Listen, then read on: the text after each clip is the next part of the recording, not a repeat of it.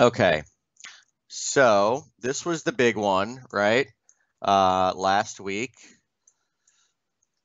we nailed this uh, resistance here in, in NASDAQ futures.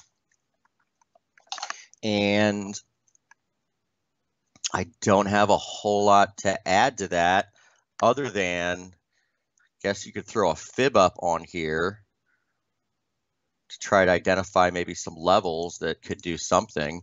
Um, 38.2, right? 14.335. And if you look to the left of the chart, you can see that you've got some kind of sticky areas over here, right? Low here in February, uh, resistance here early March. So I would pay attention to that level. Um, the 618 as well, also kind of in line with, you know, former lows here, right? Former support, all that. So, um, frankly, I would just pay attention to those two fibs for now. But again, I do think that it's lower. Um, a lot like crypto, which probably is not a coincidence, right? I do think that this is either lower or sideways, right? Um, I mean, the year has started off on a bearish note.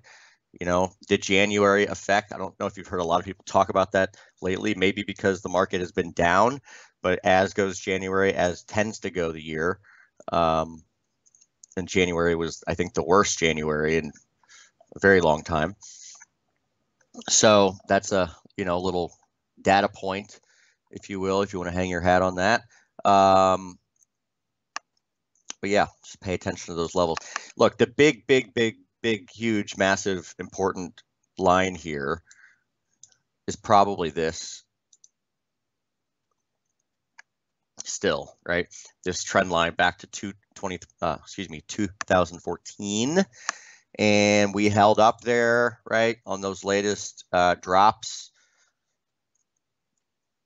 So if that gives, then all hell probably breaks loose. But until then, right, you can probably be nimble and trade both sides if that's your thing before I wrap up here, sorry, I'm back. Um, I want to remind you, remind everybody that uh, we are looking for traders at Scandinavian Capital Markets. So if you go to, I'll just share the screen here again, but if you go to Scandinavian Markets slash get funded,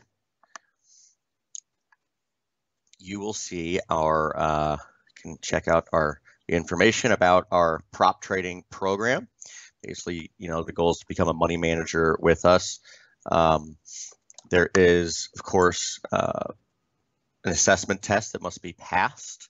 There is no timing, time, you know, requirement in order to do that, like some other places that run these programs. Um, you know, you don't have to do it within a week or a month or whatever right? That's not how the market, you're trading on the market's time. Um, so you don't have to do any, you know, stupid forced trades. So yeah, come, you know, check this out, scandinavianmarkets.com slash get funded and come trade with us. Start your journey to become a money manager.